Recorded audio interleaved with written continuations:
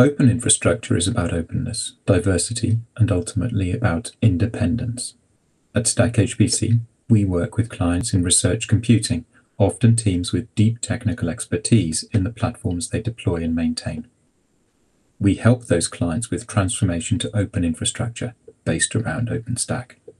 Our vision is for what we call the software-defined supercomputer. We believe this can only be realistically achieved using open infrastructure and the collective effort of institutions around the world to make this great cloud environment.